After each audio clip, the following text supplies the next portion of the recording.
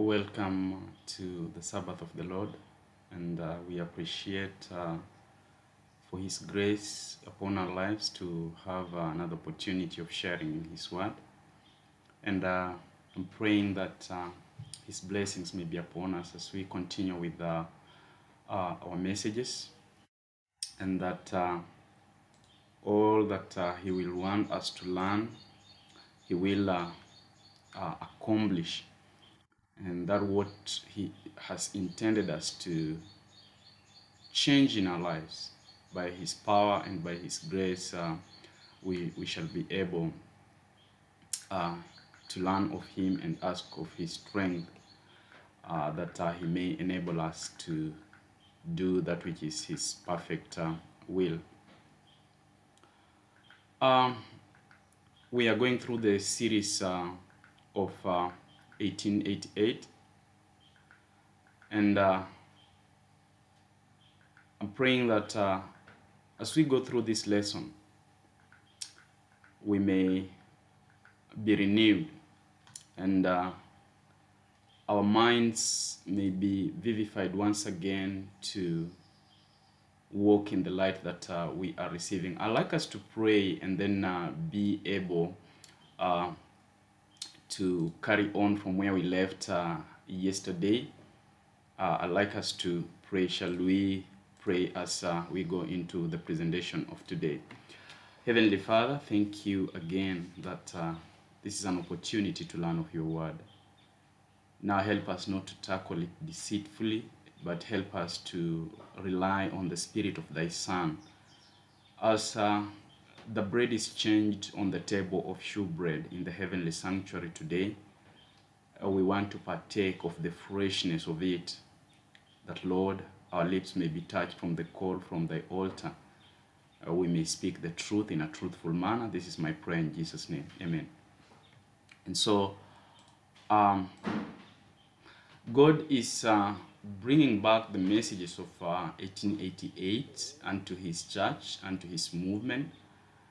And uh, every one of us better get hold of the message because it is the message that uh, um, will bring in uh, the loud cry. The Lord is showering His church with the dews of the latter rain in preparation for the rain itself uh, the latter rain so that the loud cry may go forth in force. And so we are just uh, seeing the glimpse of what the Lord is doing.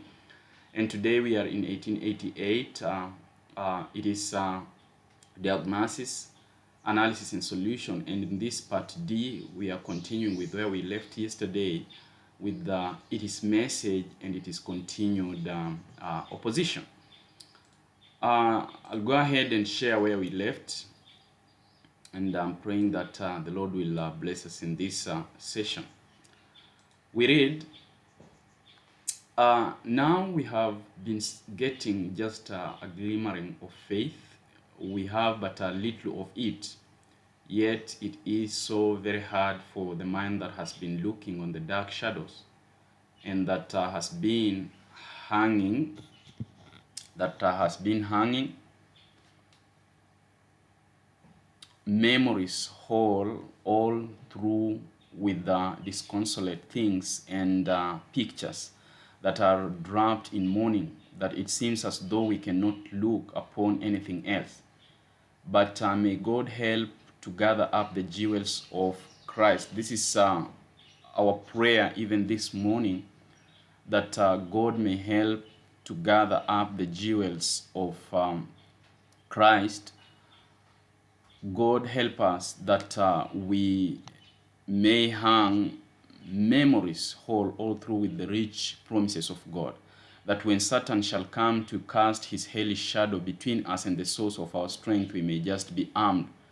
We have got the memorials of all surrounding us, barricaded with the promises, and we can say, Although the fig tree shall not blossom, neither shall fruit be on the vines, the labor of the olive shall fail, and the field shall yield no meat. The flock shall be cut off from the fold, and there uh, shall be no herd in the stalls. Yet I will rejoice in the Lord, I'll joy in the God of uh, my salvation. And that is where we left um, uh, yesterday and uh, the continued effort of Satan to overshadow or uh, eclipse this message of righteousness by faith by bringing in suppositions and bringing in dark clouds in the memories of the people so that they may not dwell on the richness uh, that the Lord has provided through his son Jesus Christ dying and the merits of his blood being applied in our lives so that we may be victorious. And so it is a time that we may cut uh, off these uh, shadows. It's a time that um, we may break every yoke and bonds that uh, has been uh, holding us and the fetters that have tied us to uh, uh, churchanship and uh, being part of uh, a people who are used to debate and uh, oppose everything that is brought unto us. Continued on in the series, uh, uh, we are told that uh, let the law take care of itself. We have been at work on the law until we get as dry as the hills of Gilboa without dew or rain. Let us trust in the merits of Jesus Christ of Nazareth. May God help us that our eyes may be anointed with eye salve, that we may see. God helping us, we will draw nigh to Him, and He says He will draw nigh to us. Do we believe? Will we come in God's appointed way? May the Lord help us and enlighten us, that we may go forth from this place as they went forth to proclaim the truth after the day of Pentecost, and there were souls converted, they could not resist the testimony. The highest evidence that the Lord is uh, accepting His church is the evidence of uh, the manifestation of the Holy Spirit working in the midst of the people for the conversion of souls. The highest uh, um, uh, clue or the highest, uh, what can I say, evidence that the Lord is amidst the people is not their intellectual uh, understanding of the scriptures, but uh, the reality of the manifestation of the Spirit in their lives to work in power to save those who are in darkness.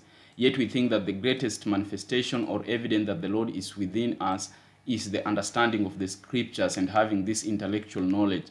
But I speak of these men that they may know, that they may understand what is truth, and if they will not hear, if they will keep away, just as the ministers tell the congregations, the stay away argument, don't go to hear.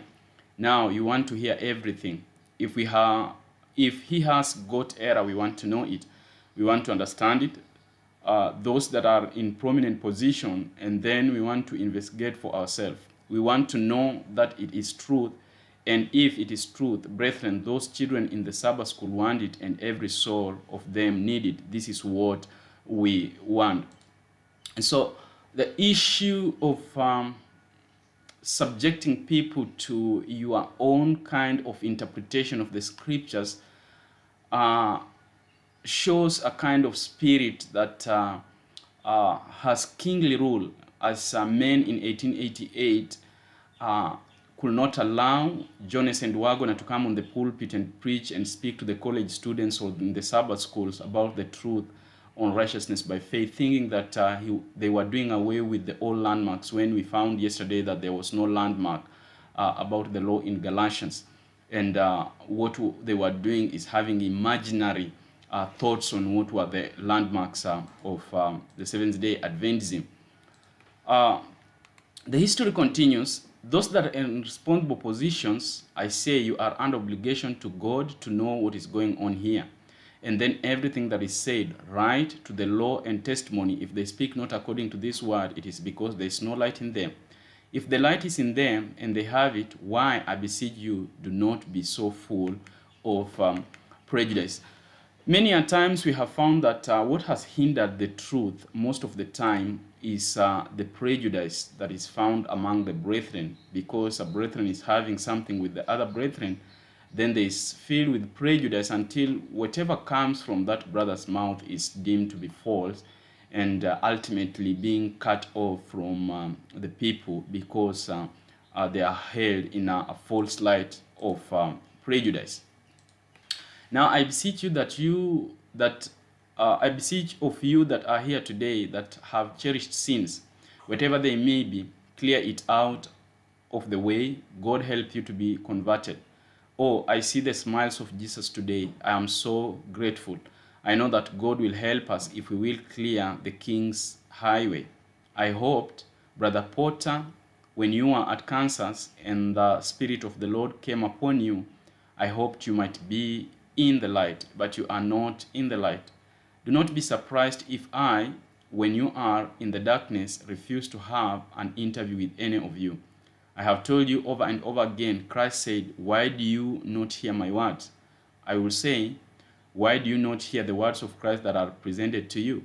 Why will you have darkness? They are so afraid to see that there is another ray of light.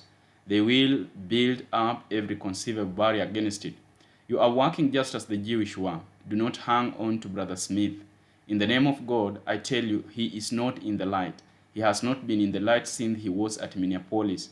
You have gathered together, you have built up yourself, and you have tried in every way to resist the Spirit of God.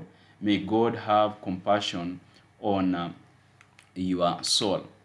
Now, I tell you here before God that the covenant question, as it has been presented, is the truth. It is the light. In clear line, it has been laid before me, and those that have been resisting the light, I ask you whether they have been working for God or for the devil. It is the clear light of heaven, and it means much to us. It means to show us that you cannot depend upon your own smartness and your criticism, but you must hang your helpless soul upon Jesus Christ and upon Him alone. God help you to see. God help you to understand. The angels of God will round about us if we will only cling to the right. Wherever Christ is, there are angels. Wherever Christ abides, there are angels to communicate the power and the grace and the glory. I honor my Lord and my Master. I want to carry the banner of truth to the very close of this message. And when the message shall triumph, I want to triumph with it. No more will my lips be sealed. I have been watching to see what course these men will take, how much light will come into their souls. I have been watching to see. I told Brother Don- Dan Jones, I will not tell you my opinion, my faith. Dig in the Bible, sing the shaft of truth to find out what is truth. But I tell you today, while I have been keeping in silence, the Lord has been revealing night after night the position of individual cases before me. The converting power of God is needed in our midst. He will work through our ministers as he did in Bethlehem. He will shed his light and his glory upon us if we will only give him a chance. But when you begin to talk with them, they will make your words mean something else. The devil is at their side. He is just as much at their side as he was at the side of those men of Nazareth when Christ proclaimed that he was the anointed one. The power of God, the Holy Ghost, the great convictor said it was so, and they said right out it was so. But uh, the devil said, Think of this. Why? His mother and his brethren are right here with us. Well, then, Satan followed up the track, and what next? They were ready to pitch him over the precipice. It is not best to set the feet an inch in the powers of darkness, but God help us right here on this ground to surrender to Him. I have borne testimony after testimony, but it has not had any weight. They have rejected everything but their own ideas. May God help you to not close your hearts and minds to this testimony. May God help you to accept and receive it as truth. Um, I, I, I hope that uh, you are seeing the problem that uh, Minneapolis uh, conference is facing right here.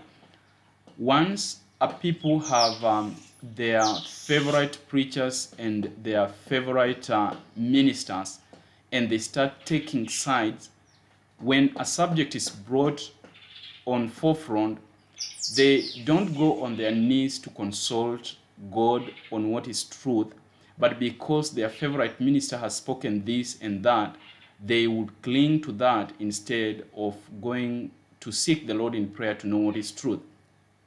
The same thing that uh, happened in 1888, you find that uh, it happens to us now and then.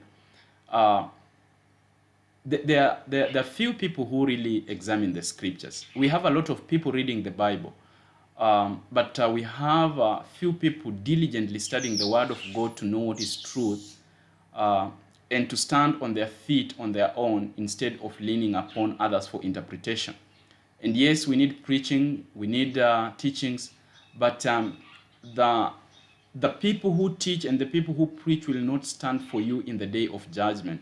You need to go to God in prayer and ask, is what I'm hearing the truth or is it false? This is what uh, really was uh, one of the biggest problem with the, the ministers and the delegates who came into 1888 um, uh, meeting.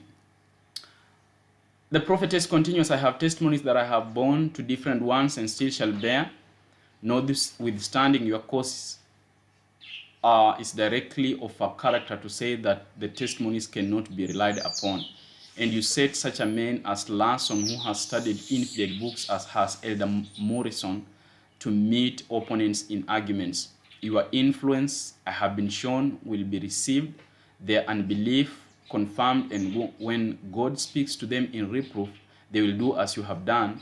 Thrown in my face something somebody has said or done or some inconsistently thing they can see in my course which authorizes them to turn from the testimonies to walk as you have done away from all the influence God will bring to bear upon them and plead you as their excuse for doing for so doing. And next you will find the ones whose eyesight spiritually you have acted your part to pervert will accept certain sophistry rather than the pure unadulterated truth and they are ensnared and taken. At whose door will their sin be charged? You set their minds against the testimony of the spirit of god you led their feet in path in a path where God was not leading you. The spiritual blind has been leading those whom he might have led in a path of faith and um, uh, confidence, uh, uh, uh, peace.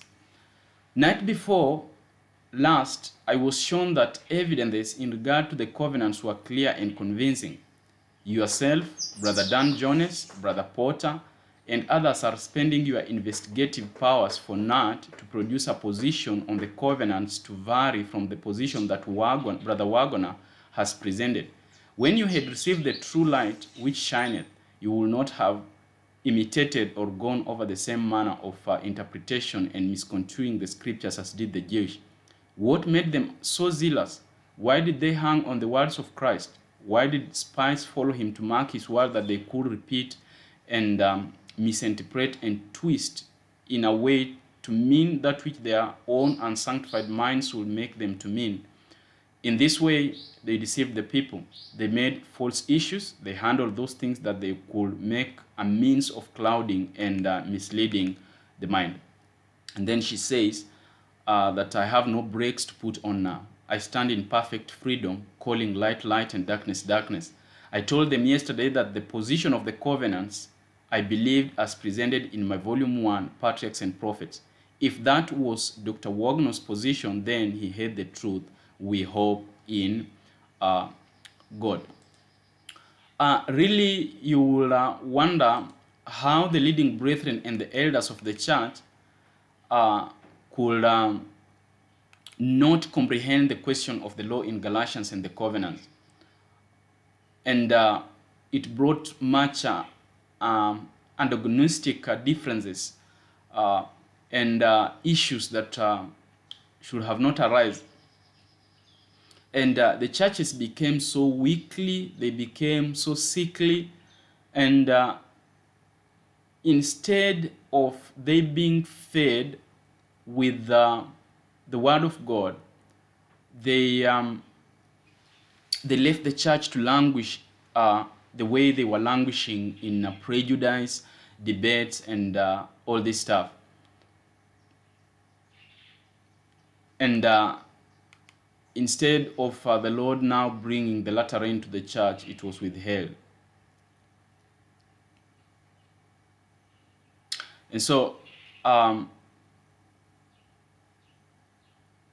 what what happened when uh, Sister White really supported uh, Waggoner and Jones with the Minneapolis uh, uh, messages. When she stood with them, I wanted to see what happened because when we start rejecting the light, it will lead to one thing or another. And uh, we just want to continue in this history and see, as you continue objecting to the light, what happens next?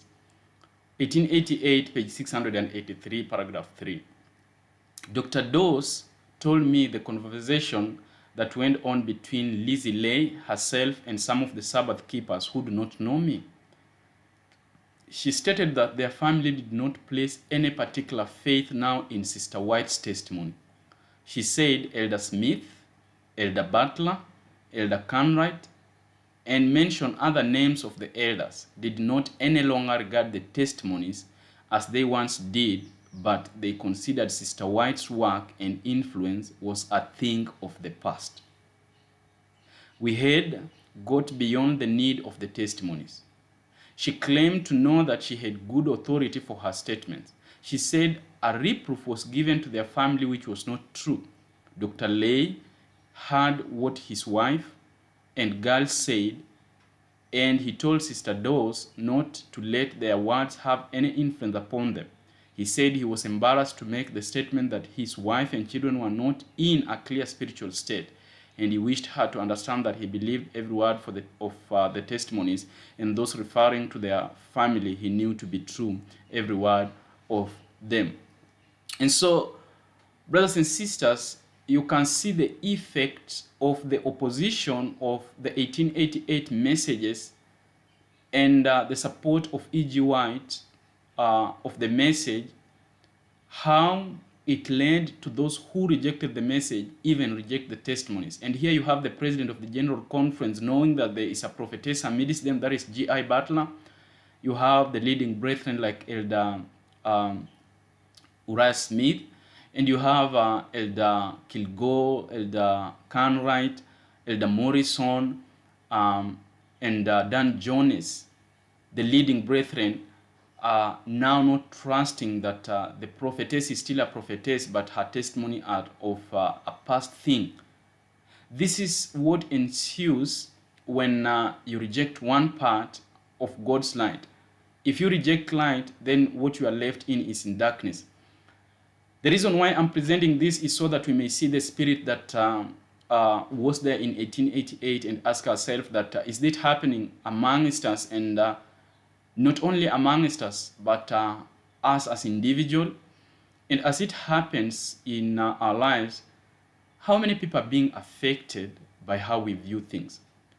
Uh, um, I- I'd like to show you one statement because we think when uh, we sin that it's only us who have sinned that um, go down the line to be the victims of sin. Uh, by G.I. Butler, the president of the General Conference, disbelieving uh, the testimonies, and uh, Elder Smith and others, you find that uh, not only them were uh, overtaken in this thing, but others were made to believe that now Sister White was not a prophetess and her testimony of the past thing. Look at when we sin, it is not us only, but others also are affected by these things. I'm reading from uh, uh, Prophets and Kings, page uh, 94, paragraph 1. Prophets and Kings, page uh, 94, paragraph 1. How sad, how filled with significance the words, and all Israel with him. The people whom God has chosen, had chosen to stand as a light to the surrounding nations, were turning from their source of strength and seeking to become like the nations about them. As with Solomon, so with uh, Rehoboam, the influence of wrong example led many astray. And as with them, so to a greater or less degree is it today with everyone who gives himself up to work evil. The influence of the wrongdoing is not confined to the doer. No man liveth unto himself, none perish alone in the iniquity. Every life is a light that brightens and cheers the pathway of others, or a dark and desolating influence that tends toward despair and ruin. We lead others either upward to happiness and immortal life, or downward to sorrow and eternal death. And if by our deeds we strengthen or force into activity the evil powers of those around us, we share their sin. And uh, by just uh, the reactions and responses of the leading brethren in Minneapolis, 1888, not only were they recorded as sinners, but others also were overtaken and became sinners. We don't live for ourselves, but we live for others. Either we are leading people into light or uh, in darkness. And so you, can see how dangerous it is for you to rise against anything that you are not sure of, knowing that you are a person of influence and others may be looking unto you. It will be better for us even to remain silent because sometimes silence is golden than take a position uh, when we know we are of influence and others may be ensnared. Let us be careful with that. In Revelation 13, this subject is plainly presented. I beheld another beast coming up out of the earth, and uh, he had two horns like a lamb, and he spake as a dragon, and he exercised all the power of the first beast before him, and causeth the earth and them that dwell therein to worship the first beast whose deadly wound was healed. Then the miracle working power is revealed, and deceiveth them that dwell on the earth by the means of those miracles which he had power to do in the sight of the beast, saying to them that dwell on the earth that they should make an image to the beast, which held the wound by a sword and did live. And he had power to give life unto the image of the beast, that the image of the beast should both speak and cause that as many as will not worship the image of the beast should be killed. And he causeth all, both small and great, rich and poor, free and bond, to receive a mark in their right hand or in their foreheads, and that no man might buy or sell, save he that hath the mark or the name of the beast or the number of his name. This is the test that the people of God must have before they are sealed. All who prove their loyalty to God by observing his law and refusing to accept a superior Sabbath will run among under the banner of the Lord God Jehovah and will receive the seal of the living God. Those who yield the truth of heavenly origin and accept the Sunday Sabbath will receive the mark of the beast. What need will there be of the solemn warning not to receive the mark of the beast when all the saints of God are sealed and ticketed for the New Jerusalem, or consistently thou at uh, a jewel. And so uh, we are seeing that um, in one way or another, by our influence or uh, by our criticism, our prejudice, we may be aligning ourselves with the powers of the Revelation 13, the power of the beast. Now, that, that one doesn't click a lot of time in the minds of the people. That uh, in whatever things that they are doing, they are aligning themselves with either the beast or the Lamb of God. You, you could have never imagined that uh, Revelation 13 will come in between uh, uh, the message and its opposition to be to to explain what is really happening in the uh, in the background of these uh, oppositions, and so men have been aligning themselves with the powers of darkness, and it may be without knowing. Because you find that the beast um, uh, uh, puts uh, his seal, his mark on their hands, wherever they find to do. And uh, they, they do it with all their energy and uh, uh, diligence. Every kind of opposition actually is aligning ourselves with the, the beast and his image. And uh, just think about that because uh, we think of only Sunday sacredness uh, as, uh, as the only way of uh, giving support to the image of the beast. Yes, we think that uh, going on church on Sunday is the only way of receiving the mark of the beast. But every opposition to the light is aligning yourself with the beast of Revelation chapter 13. Now, that is so so uh, important to me, and I have to be so careful in how I deal with things and how we I deal with the people, lest I be receiving or preparing to receive the mark of the beast unknowingly. You know, we look at the surface of things when we should look more deeply in what we are doing. I really am examining my life to see really if I'm on the side of the Lord. I don't know what you are doing yourself. But for me, really, as uh, our family, as we have been going through the Bible journey and uh, looking afresh in what we believe and how we react to it, we have found ourselves falling short of the glory of God. Uh, I don't know how you people feel and how you study and what kind of uh, thoughts come into your brains.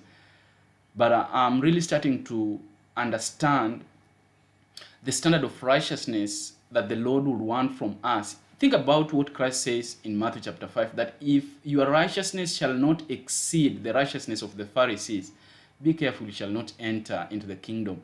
And these people's righteousness was really a righteousness that could not be compared to any other when you looked at it on face value. And sometimes people look at us and they say, Oh, I really I really desire to be like so and so. I really desire to be like this family and that family. But uh, how do you how do they look at us? With what kind of lenses do they look at us? It is more than how men look at others.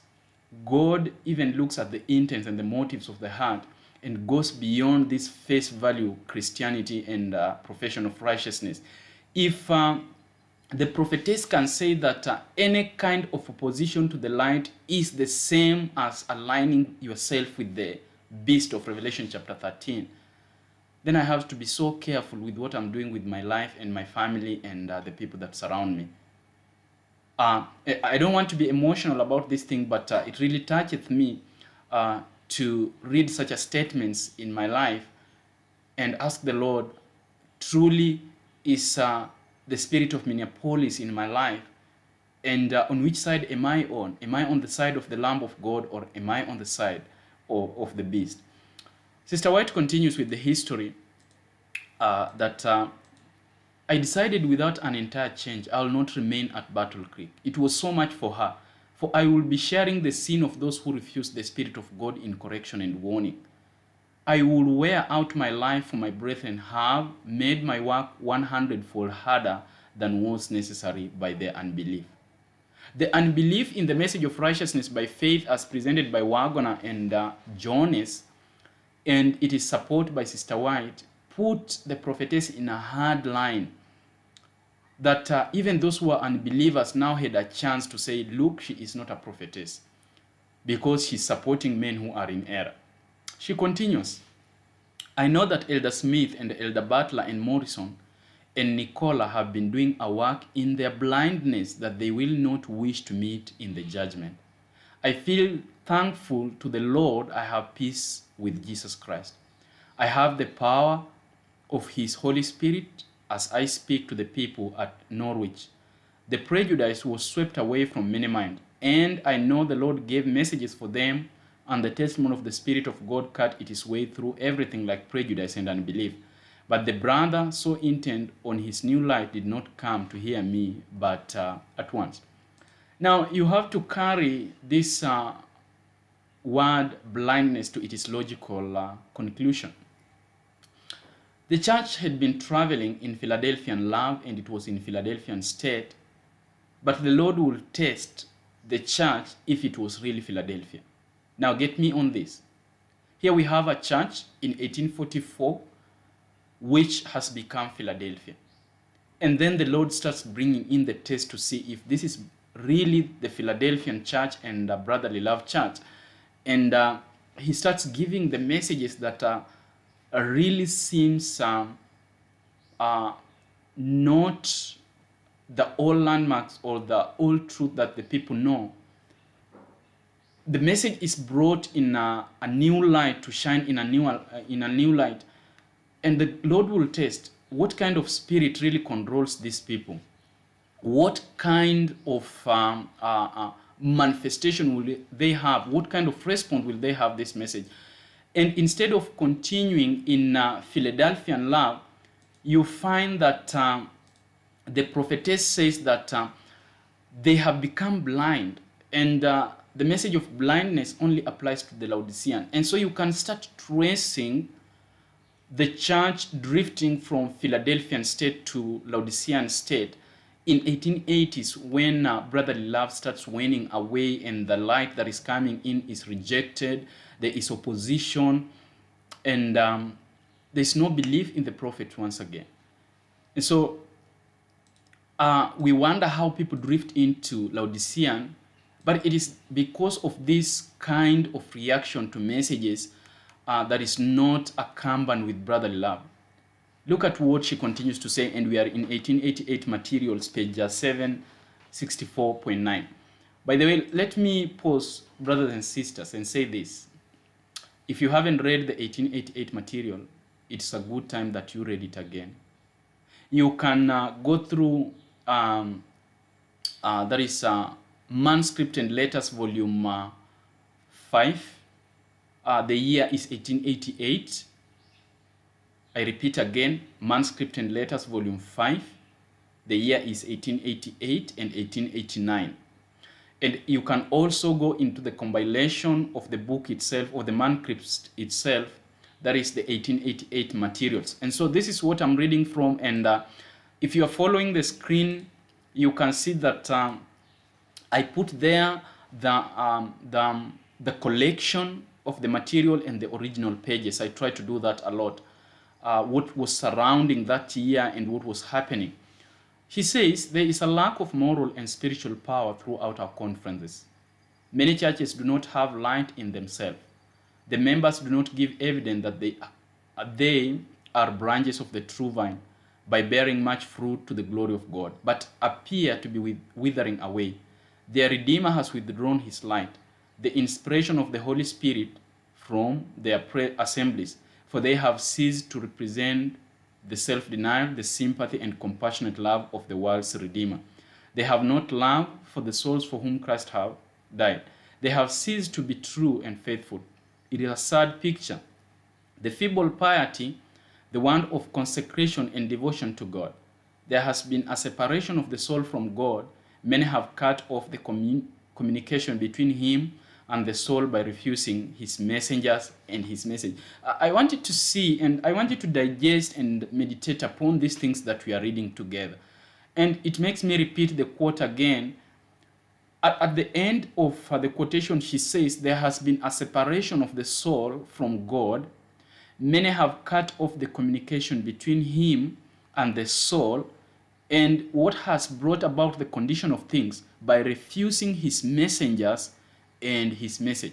So, be, because of the refusal of uh, the message of righteousness by faith and the messengers, uh, the prophet says very well that uh, there is a lack of moral and spiritual powers throughout our conferences. And many churches do not have light in themselves. And what has caused uh, such a state of condition of blindness, it is because the messages have been rejected and the delegates which should have taken the messages to the church them themselves they don't believe in the message itself. Continued on uh, we read that uh, while we dwell upon the paternal character of God and his love expressed for man in the gift of his only begotten son, we must tell people why such a costly sacrifice was necessary. It was because of sin. What is sin? The transgression of the law. Only the Son of God could pay the penalty, and that by his own humiliation and death. As men look at the cross, concerns will be aroused. They will see the majesty of the law, the holiness of God, and their own unlikeness to his character. They will flee for refuge to Jesus Christ, who can cleanse them from every stain of sin and adopt them into the royal family, making them sons of God and joint heirs with Jesus Christ. Then will the ones of the prayer he offered to his family, to his father, sorry, be verified.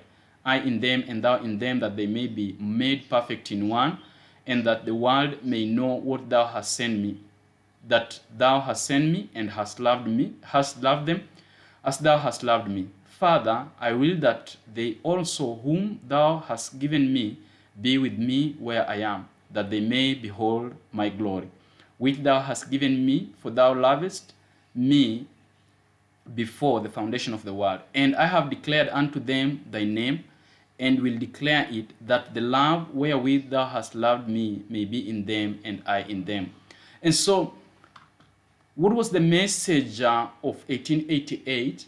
the uplifting of the Savior and the people beholding their God in his divine attributes and laying the glory of man in dust. But Minneapolis proved to be a meeting where man thought that he could be looked upon and not Christ be looked upon. Reading from uh, Testimonies to Ministers and Gospel Workers, page 92, TM, page uh, 92, just to uh, bring you to the update of uh, uh, what these messages were all about. TM page uh, 92 and uh, 93 if uh, I may read there. We start uh, from that is 90, 91 and 92 sorry. In a short while I'll have it on the screen. Testimonies to Ministers and Gospel Workers, page uh, 91 and uh, 92. Let us look at uh, what the people had uh, to gain by this message. The Lord, in His great mercy, sent a most precious message to His people through Elders Waggoner and Jones. This message was to bring more prominently before the world the uplifted Savior, the sacrifice for the sins of the whole world. It presented justification through faith in the surety. It invited the people to receive the righteousness of Christ, which is made manifest in obedience to all the commandments of God. Many had lost sight of Jesus, and this is what was happening in Minneapolis that people were looking unto men, and that is why when men rejected the message, those who were looking unto them rejected the message. So the glory of man had to be laid in dust. Men had lost sight of Jesus. They needed to have their eyes directed to his divine person, his merits, and his changeless love for the human family. All power is given into his hands that he may dispense rich gifts unto men, imparting the priceless gift of his own righteousness to the helpless human agent. This is the message that God commanded to be given to the world. It is the third angel's message which is to be proclaimed with a loud voice and attended with the outpouring of his spirit in large measure.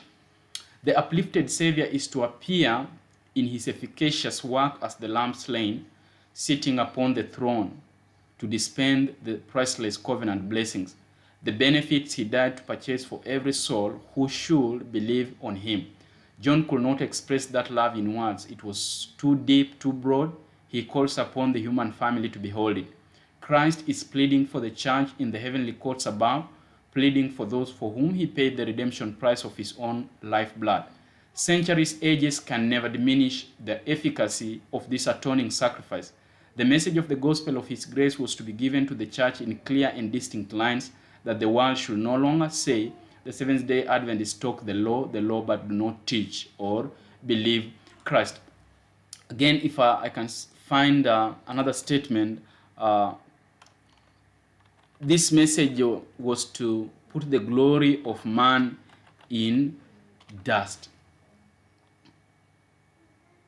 It was to put uh, the glory of man in, in dust and uh, place Christ in his um, rightful position.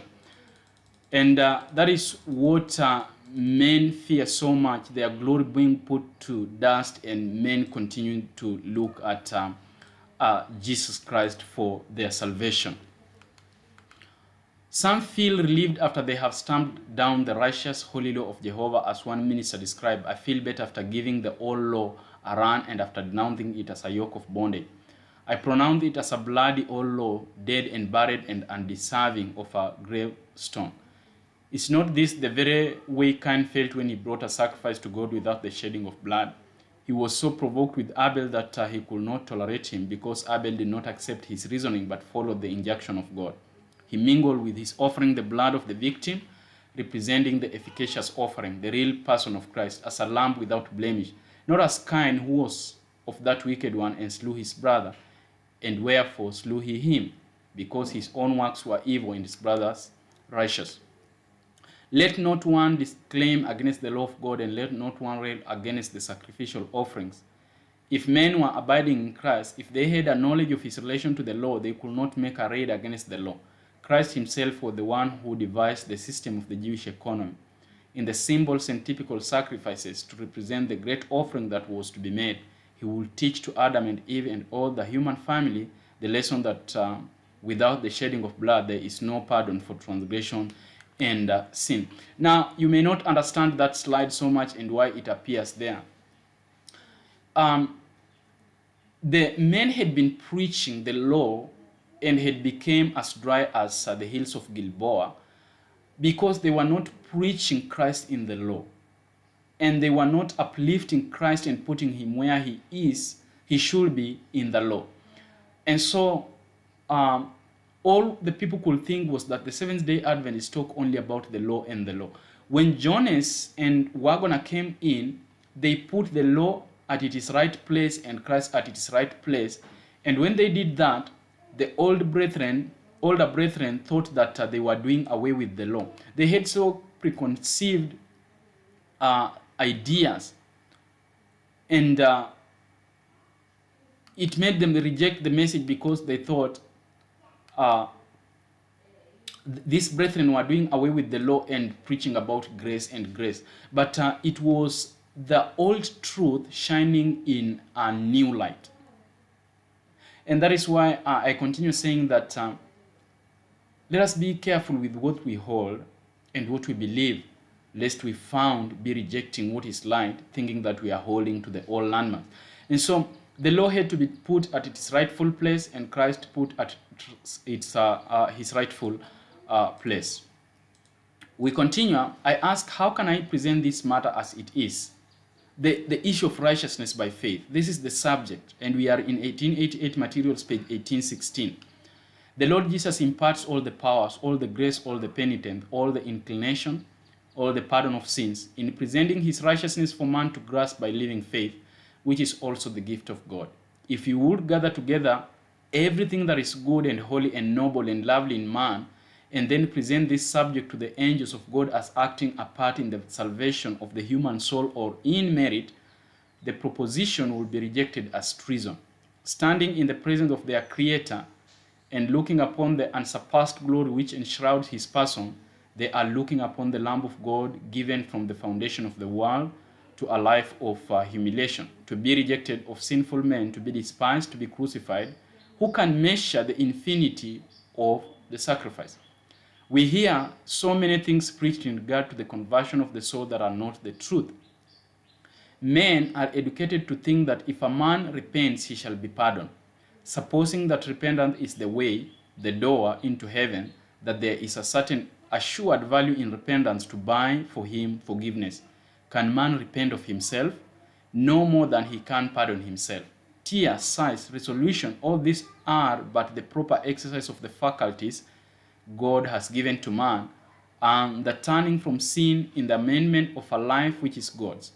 Where is the merit in the man to earn his salvation or to place before God something which is valuable and excellent? Can an offering of money, houses, lands place yourself on the deserving list? It is impossible. And this is the message that Waggoner and uh, Jones had, but uh, it seems so elusive. By the way, I have people, I have heard people say uh, that uh, how is it that those guys could reject the message? How is it that they could not comprehend the message? But it is funny how such a questions are posed because if you go deeply in what is happening today, you will find that the same spirit is working but in a different way, in opposition to the message, because it is not presented the way that we think it should be presented. Yes, those guys rejected this message and thought that Waggoner and Jones were bringing in dangerous thing, but um, Satan works in a very subtle way, and unless we have a spiritual connection with uh, Christ, you may just find that uh, you are doing the same today, but in a different way. And so let us be careful with that because sometimes I hear people say, hey, how, how did they come to a point of rejecting such a beautiful messages? Sister White continues in 1888, 818, paragraph 1. Uh, there is danger in regarding justification by faith as placing merit on faith. When you take the righteousness of Christ as a free gift, you are justified freely through the redemption of Christ. Digest that. What is faith? The substance of things hoped for, the evidence of things not seen. It is an assent of the understanding to God's word which binds the heart in willing consecration and service to God. Who gave the understanding? Who moved on the heart? Who first drew the mind to view Christ on the cross of Calvary. Faith in rendering to God the intellectual powers, abandonment of the mind and will to God, and making Christ the only doer to enter into the kingdom of heaven. So, what is wrong with the brethren in Minneapolis in 1888? They, they did not come to a point of thinking that even the intellectual powers was uh, a result of God working with them. And then He can work on others to be able to preach the message in a more clear way than they are. And so they were make they were uh, they were hanging on this uh, issue of uh, trusting in themselves, and uh, that is part of the problem because the message was to lay uh, the glory of man into dust, and they could not comprehend everything because they had been used uh, to interpret to do interpretation of some things in uh, their own way. If it were concordance, if it was referring to history, if they were, it was on uh, understanding some particular Bible text the way they thought they could be understood. And here is Waggoner and uh, and uh, they are like, we can do nothing without him. And uh, every faculty has to be given to Christ, and then he will be able to empower the church uh, with the truth and nothing but um, uh, the truth. And so there is always danger in thinking that uh, uh, we can continue in this state of looking to man and then also be justified. As we come to an end, it is a deplorable fact that men have connected with men, looked up to them, placed them where God should be, regarded their words and works as inspired, their interpretation of scripture inspired, and they have become copies of them. Now, you, it can help you understand the previous slide that um, uh, says it is an ascent of the understanding to God's words which binds the heart in willing consecration in service to God, who gave the understanding, who moved on the heart, who first drew the mind to view Christ on the cross of Calvary. Faith is rendering to God the intellectual powers, abandonment of the mind and will to God, and making Christ the only doer to enter into the kingdom of God. And this is what they could not do, abandoning their mind to the will of God to direct the affairs of Minneapolis 1888. And so we continue. It is a deplorable fact that men have connected with men, looked up to them, placed them where God should be, regarded their words and works as inspired, their interpretation of scripture inspired, and they have become copies of men. They are dwarfed in their religious experience. They do not lead out. They are letting other men be brains for them, letting another man search the scriptures for them, and accepting his decisions as authority. And yet, that man whom they depend on and trust in is compassed with the same human infirmities and weaknesses, and his defects really are regarded to be virtues to be copied. The Lord wants ministers of the gospel to search the scriptures. Make no living man a channel. Accept not the work he does as without a flaw. Do not let him do the work God has told you to do. If you do, how are you occupying a safe position? Jesus bids you come to him, the great teacher, and learn of him, and you should find rest to your souls. Let no man stand between your soul and Jesus Christ, thinking that the Lord tells him that which he refuses to tell you. Give God a chance, ministering brethren, to operate on your mind. Peace, place yourself, sorry, place yourself before him as one who wants to learn of him. You must place yourself before the Lord in diligently searching his word that he may communicate ideas to you. He does not design that you shall be dependent on human minds. He would have you look to him in faith to do a large to do large things for you, not through another man, but to you. Now, this is not uh, something that people will want to hear. And this is uh, the anchor point. The message of 1888 was refused by the delegates because they had accustomed themselves to looking at men. You can now start understanding the message of justification by faith and righteousness by faith, how in its different facets is rejected.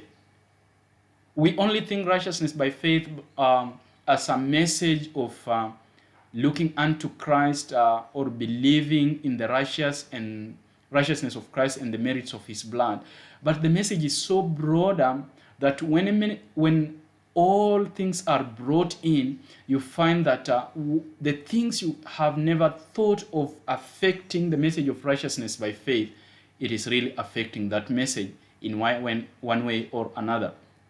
And so, my prayer uh, for myself and uh, uh, and for you is this: What has the Lord been speaking to your conscience directly?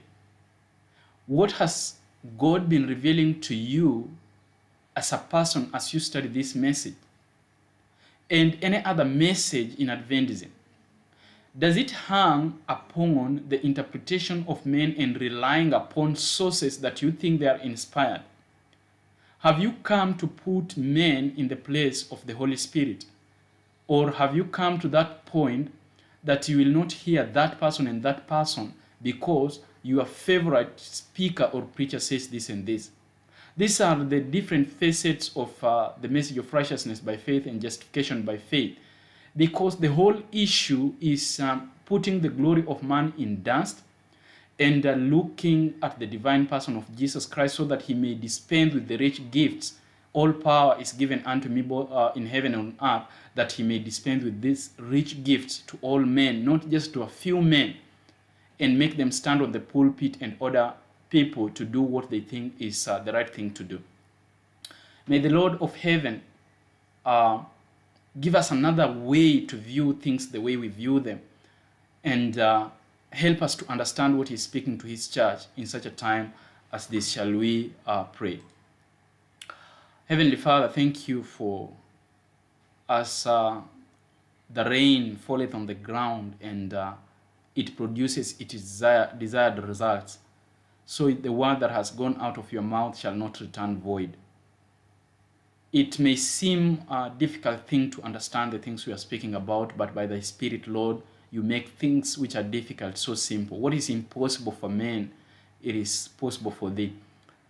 My language may not articulate the things in the right way, or uh, may I bring to an understanding the Minneapolis uh, uh, conference to the minutest point that a child can understand. But uh, I know the Spirit can um, really simplify these things and even the message itself so that it may be accepted and proclaimed. Your glory may shine upon us and uh, your will may be effected in our lives with power and with manifestation of uh, divinely origin. I'm praying for a revival in your church, in your movement. I'm praying for a reconsecration unto thee once again. This is my plea, and I pray these things in Jesus' name. Amen.